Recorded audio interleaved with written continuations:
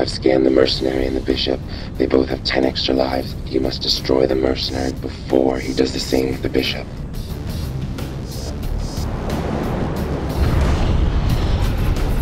Be careful. The bishop only has 8 extra lives left.